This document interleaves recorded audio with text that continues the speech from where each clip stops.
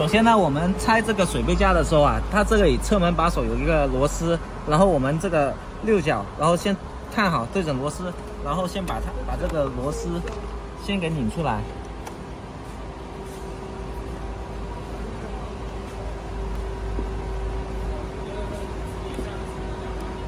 这里可能说，呃，这个原车的会比较紧一点，可能要稍微的用力，用力一点，把这个螺丝给拧出来。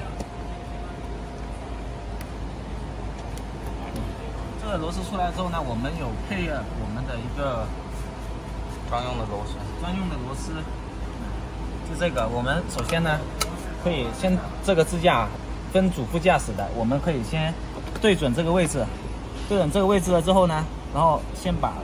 螺丝先对好，对好了之后呢，就直接可以拧上去了啊。这里的步骤呢是左松右紧啊，一定要记住是左松右紧，然后往右边拧，这这里要拧紧。这款水杯架呢，它是一个三 Y 都是通用的一个水杯架，拧紧了之后呢。可以看到我们这个水杯架，然后有一个卡槽的位置，对，有一个直接对准卡槽安装就可以了。对，这样就安装好位置，可以这样看。那我们底部是这样，这样对准安装就可以了。然后拿个东西放，试一下。